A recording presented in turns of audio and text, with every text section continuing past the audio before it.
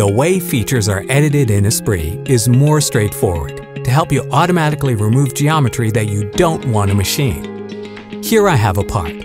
I'm going to machine this pocket and a feature has been created. There's some holes here as well. Now I'm going to apply a process on the pocket feature. You can see the toolpath is going inside these holes, which we don't want.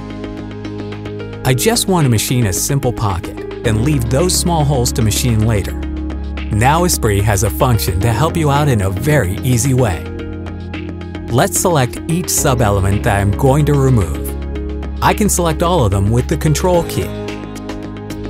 I just press the Delete key on my keyboard. Then we can see the feature has automatically changed. Esprit automatically removed the sub-elements and connected the edge. I get a perfect feature.